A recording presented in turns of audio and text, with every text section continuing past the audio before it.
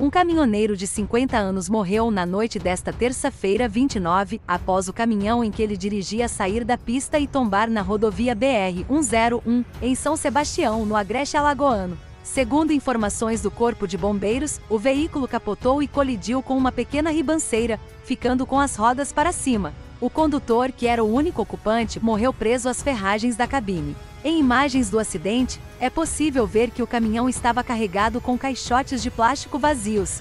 Os bombeiros realizaram o desencarceramento do corpo, que foi entregue aos cuidados do Instituto Médico Legal, IML. A Polícia Rodoviária Federal também esteve no local para realizar os procedimentos necessários. Portal Leandro Ferreira. Credibilidade com a notícia.